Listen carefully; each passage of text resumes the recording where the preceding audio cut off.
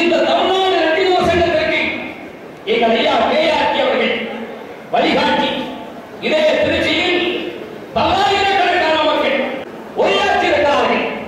உரையாற்றியவர்களின் சிறப்புகள் ஆயிரம் உண்டு. இங்கே பேசுகின்ற போதெல்லாம் நம்மளுடைய வழி தோன்றல் நமக்கு ஒழுக்கத்தை கற்றுக் கொடுத்தவர் ஓமந்தூர் அவரின் வழிகாட்டுதலில் தான் காமராஜர் உலகத்துக்கு தெரிந்தார். ரெட்டியார் சமுதாயம்